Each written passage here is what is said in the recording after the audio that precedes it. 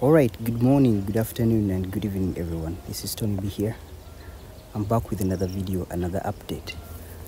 First and foremost, I want to thank you so much for those who subscribed, for those who have been commenting, and the many of you who have been uh, uh, sharing the videos elsewhere. Thank you very much for the a thousand subscribers. I can't thank you enough because this gives me the motivation and the zeal to go ahead and make such videos. So I'm back with another video after how long? Uh, today is, uh, can be sure, we're in the uh, 2023 towards the end December and these trees were planted in 2022 March. So you can see, I'm going to show you around and you can, you see, you get to see how big the fruits have gotten and the progress that has been going on. But apparently, before I take you through, uh, thankfully, we've been having rain uh, for the past two or three months. It has been raining cats and dogs. So that has given the opportunity uh, to the trees, to, to the apple trees to, to flower and fruit much more better. Due to the fact that uh, the well broke down so apparently we do not have anything like a water source, a permanent water source, or um, we do not have anywhere we're getting water. But it's been very fortunate enough that the rain has been doing its part. So I thank you very much and let me take you through. Thank you.